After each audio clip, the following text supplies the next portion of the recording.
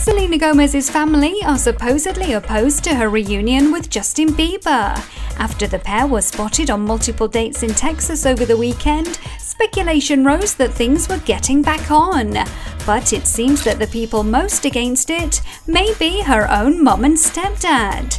According to Radar Online, Selena is rebelling against them after a source said that they are vehemently opposed to 20 year old Bieber, adding that they are convinced that he was responsible for her recent stint in rehab. The source said that the Come and Get It singer's parents don't have any control over her. She's pulling the who makes the money around here card. It's a show behind the scenes. Well, if his behaviour at his own deposition is anything to go by, I'm really sorry to keep asking I think yes and no are pretty, pretty different. then we wish them all the best of luck.